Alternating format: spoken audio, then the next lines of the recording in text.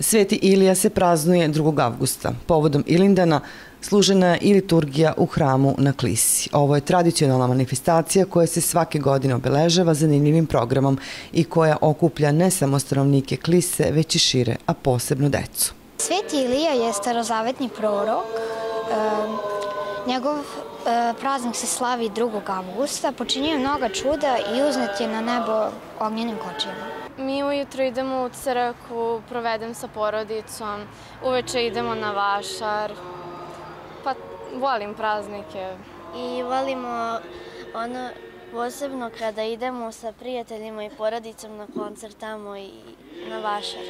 Ovaj duhovni događaj koji ne okuplja samo vernike obeležava se s ciljem da se istakne zajedništvo kroz koje se deli i radost. Ovo je nešto jedinstveno gdje učestvuje i grad i crkva i narod, znači svi smo ovdje zajedno.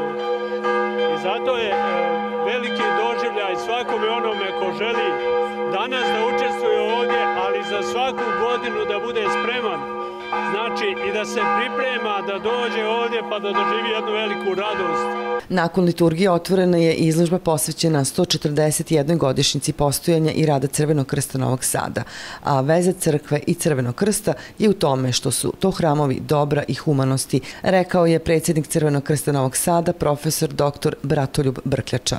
On je istakao da se ova organizacija koja broji 15.662 volontera najviše ističe upravo u kriznim situacijama, ali kada je u pitanju dobrovoljno davalaštvo krvi. Ono što, što je poruka ove izložbe, to je da što više mladih dođe na takve izložbe, da osjeti, da shvati što i rade naše volonteri, e, jer evo samo jedan primjer, e, jedna od važnijih djelovanja aktivnosti Crvenog krsta je davalaštvo krvi.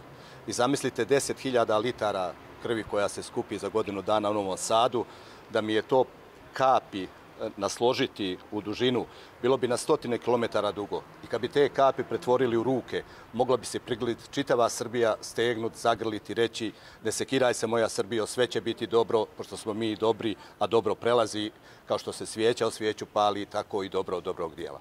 Na Ilindanskom saboru prisutnima će se predstaviti kulturno-umetnička društva, guslari, gajdaši, orkestar narodne muzike, a za kraj programa planiran je i vatromet.